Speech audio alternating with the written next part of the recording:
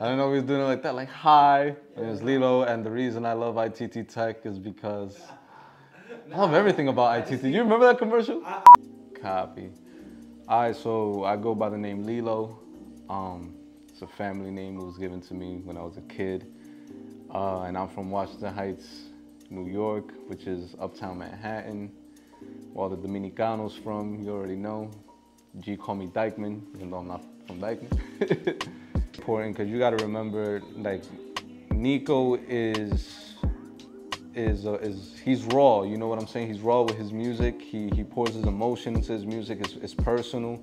So you know him trusting me and Fleece with the Sonics is is is a very important thing because we we have to bring out that emotion in every song. You know what I'm saying? So it's it's it's the connection is super important. You need to have the chemistry. You need to you need to sit down and actually build together as people to to really you know make the emotion translate out of the music. So it's like it's it's hands down one of the most important relationships that an artist can have is you know their their relationship with their engineer and producer. Man, a Niko session is it's like it's like we're constantly brainstorming. We're always constantly like coming up with new ideas on the fly. Um, you know, we do certain things spontaneous. We, we experiment with certain things. Um, so there's the cool thing about that is that there's always growth in every session. Like whether it's you know growth within the engineer or the artist or the producer, there's always we're always doing something that is like, oh, I, I never thought of that. You know what I'm saying? Like we're always like kind of just pushing the pushing the boundaries. Uh, Hues definitely went through changes that I didn't expect it to go through. Like we added certain skits and certain elements to it that I'm like, yo, this is this is now cinematic. Like it's not just like it doesn't feel like just a sequence of songs. Now it just feels like a like a story, like a movie almost. So yeah, we've been cooking up, man. These, these sessions have been great. These sessions have been amazing. I see. I see the idea that you're going for though. Exactly. Yeah, yeah. It was just like real. It was just like real crispy for some reason. Try to slow it down. Hmm. Yo, I could I do feel it like on the Logic. swing Logic, the, the polyphonic shit on Logic is fire. Niggas is just making shit up. what makes this project special to me is this feels like the most important thing I've worked on besides my own music. So um, yeah, just everyone involved, the fact that we're all putting hours in, more hours than we've ever put in. Um, yeah, I don't know. It's it's a feeling more than anything. when it's clean, it's, there's no static. Okay. You know what I mean? Yeah, sure. Like here versus Yeah. All right. So these, these, these are the records that, that we're looking to choose from uh, Lilo and Fleece. yes. Make sure we just give the speakers a second.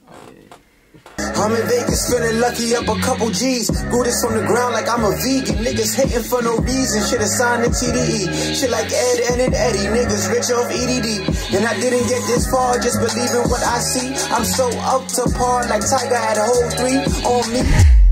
My name is Fleece. An audio engineer, producer, musician. I'm from the Bronx, New York, and I got into engineering. Shit, how did I get into engineering? Um, I don't know. I. I, I've always been a music head since I was a kid. I want to say like middle school. I really started getting into music heavy. Uh, you know, like I feel like that's when I started listening to my own music rather than just what everyone else in my family or friends were listening to. And that was still when CDs were out because I'm fucking old. And you know, on the back of the CD, it'd be like, oh, produced by this person or engineered by this person. And I would, all my favorite records would have the same names.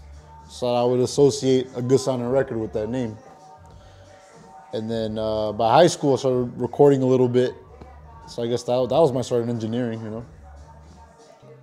What's unique about Niko and I is, I don't know, I feel like we're really intuitive. There's certain times where like, uh, he might, I might, like, let's say we're tracking or recording. and he might say a line a certain way, and I, in my head I'm like, oh, maybe he should say it this way, but I haven't said that yet out loud. And we go again. He'll he'll do it, even though I was thinking about it, or vice versa. He might ask me to do an edit, but I already did the edit before he can even get the words out of his mouth. So there's just like an, an innate an innate thing going on between us. It's cool. Ain't no luck in this love. Ain't no luck in this love. Uh, yo, I've been, I've been around for a minute. I've been around for a minute. I've been around for a Let minute. Us know, fam. Shit is not it, bro. Shit is not it. It's always that one nigga repeating not it, everything. Shit is not it, bro. Yo, yo, get your vibe yo, right, yo, bro. yo, yo, one mic, one mic, one mic. It's not it. It's not it. Know what I mean? Tell him. Yo, get the fuck out the room, bro. Yo, A Niko session is just jokes and having fun and clownery. It's basically clown college.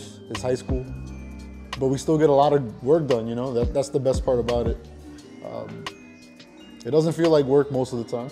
Sometimes it does, but when you're really trying to get something dialed in, it, a, it takes a little bit of work. You know, but it's always a great time and it's great music and great vibes.